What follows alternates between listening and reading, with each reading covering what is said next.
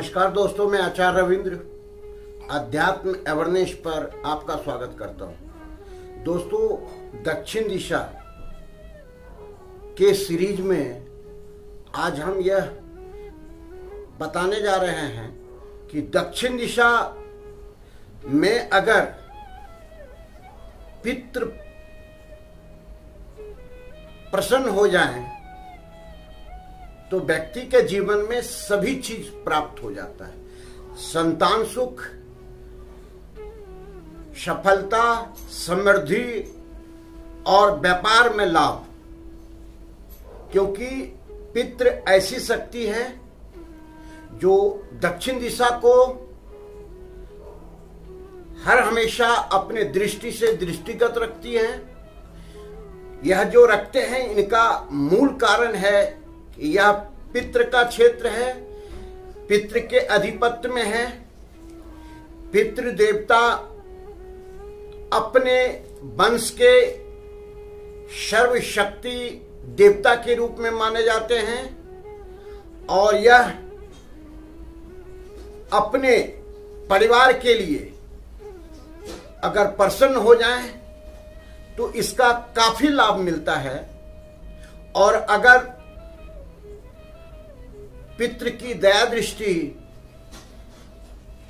कुपित हो जाए तो वंश हानि, कारोबार में हानि, व्यक्ति की अनेक बाधाएँ जीवन में आने लगती है।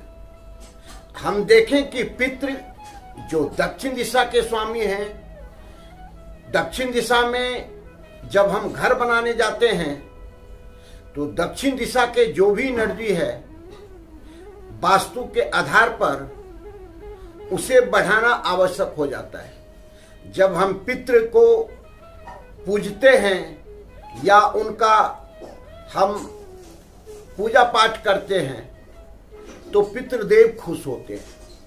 हम इसके उपाय भी बताएँगे कि पितृदेव अगर आपके पास पितृ की छाया नहीं है, पितृ प्रसन्न नहीं है तो अनेक संकट आपके जीवन में आता है। और सबसे पहला संकट है कि वंश वृद्धि में काफ़ी तकलीफ़ होती है। लोग वंश वृद्धि नहीं कर पाते हैं। सभी चीज़ रहने के बाद भी संतान सुख नहीं मिल पाता है। तो ऐसे स्थिति में हम देखते हैं कि सभी चीज़ रहते हुए व्यक्ति के पास कुछ भी नहीं रह जाता है। तो इस प्रकार हम पितृ को कैसे प्रसन्न करें? और अगर पितृ प्रसन्न होते हैं तो हमारे जीवन में संतान सुख मिलता है, सफलता मिलता है, अपार धन मिलता है, लोगों में मान सम्मान मिलता है, और सबसे बड़ी बात है कि स्वस्थ रह करके व्यक्ति लंबी आयु जीता है। तो पितृ को हम कैसे प्रसन्न करें? सबसे पहली बात है, पितृ का स्थान नैऋत्य कौन है? नैऋत्य कोण, जहाँ साउथ और वेस्ट के मिलन के स्थल को नैऋत्य कोण कहते हैं। यहाँ के ग्रह राहु है। राहु एक छाया ग्रह है। जीवन में हर हमेशा व्यक्ति को प्रभावित करते रहता है। ऐसे स्थिति में पित्र अगर कुपित हो जाए तो राहु और बलवान हो जाता है। तो हम देखें कि पित्र को कैसे प्रसन्न कर सकते हैं। पितृ की शक्ति को हम कैसे एनहांस कर सकते हैं? पितृ की दया दृष्टि हम पर कैसे बरसे? इसके लिए हम कुछ उपाय बताने जा रहे हैं। सबसे पहली बात है, साल में एक बार जो है पितृ के तर्पण का समय आता है। यह सोलह दिन का होता है और इस पितृ के माह में अगर हम पितृ का तर्पण करते हैं, पिंडदान करते हैं, जल तर्पण करते हैं, और पितृ के नाम पर हम ब्राह्मणों को खिलाते हैं, दान दक्षिणा देते हैं, मंदिर बनवाते हैं, गंगा स्नान करते हैं, और गंगा किनारे पितृ को हम तर्पण देते हैं तो पितृ काफ़ी प्रसन्न होते हैं। एक तो ये विधान है। दूसरी बात है कि अमावस्या के दिन हम पितृ के नाम पर ब्राह्मणों को कौए को या कुत्ते को ये सब भोजन प्रदान करते हैं, देते हैं।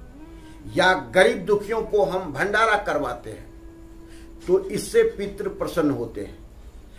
पितृ के लिए तीसरी बात है कि जहाँ पर आपका भोजन बन रहा है, अर्थात जो किचन है, उस किचन में एक मिट्टी के बर्तन में जल रख करके, उस पर एक नारियल रख करके और उसके नीचे प्रत्येक दिन शाम को दीप जलाते हैं तो ये पितृ को समर्पित है और ये लगातार 90 दिन तक आपको करना है। निश्चित रूप से पितृ दोष आपके समाप्त होंगे और आपको काफ़ी अच्छा इसका लाभ मिलेगा। पहले हम थोड़ा सा अभी इसको वास्तु से जोड़ते हैं। दक्षिण दिशा के नैऋत्य कोण, अर्थात साउथ और वेस्ट के कोण को, जिसका जहाँ एनर्जी सबसे ज़्यादा है, वो पितृ की एनर्जी है। वह पृथ्वी तत्व है। पृथ्वी तत्व, अर्थात वहाँ स्थिरता होती है स्टेबिलिटी होती है, जो आपके जीवन में हर हमेशा प्रभावित करता है। अगर किसी प्रकार का कोई इस क्षेत्र में दोष है तो आपके जीवन में अस्थिरता बनी रहेगी। जैसे कि आपकी अस्थिरता रिलेशन की हो जाएगी, लोगों से अच्छा संबंध नहीं रहेगा। बात बात में वाद विवाद होंगे, पति पत्नी के संबंध अच्छे नहीं रहेंगे, बच्चे के साथ आपका संबंध अच्छा नहीं रहेगा। अर्थात स्थिरता नहीं होगी। और क्या होगा? आपका कोई भी काम बनता बनता रुक जाएगा। वह काम आपको लगेगा कि अब होने जा रहा है, लेकिन वह रुक जाएगा। लेकिन इसका कारण आपको पता नहीं लगेगा कि किस कारण से ऐसा हुआ। तो जब ये सारी चीज़ जीवन में आने लगे तो आप समझिए कि पितृ दोष है, पितृ की कृपा नहीं है। तो अब हमें क्या करना है? अगर आपकी नौकरी नहीं लग रही है आपका व्यवसाय नहीं चल रहा है। नौकरी लगी भी है तो छूट जाती है। मतलब स्थिरता नहीं है तो पितृदोष है। वंश नहीं बढ़ रहे हैं। लेट से शादी हो रही है। शादी होने के बाद भी बच्चे नहीं ठहर रहे हैं। गर्भपात हो जा रहा है। तो इसका मतलब पितृदोष है। इसी का हम उपाय भी बताने जा रहे हैं कि आप सबसे पहले इसका और एक लक्षण बताते हैं कि अगर रीढ़ के हड्डी में, नीचे के भाग में एल थ्री एल फोर में जाकर के डिस्टर्बेंस आ गया, आपको चलने में भी दिक्कत हो रही है। इसका मतलब स्थिरता खत्म हो गया, आपके डीएनए में डिस्टर्बेंस हो गया। डीएनए ही जो है, वंश के द्वारा आता है पित्र के द्वारा आता है।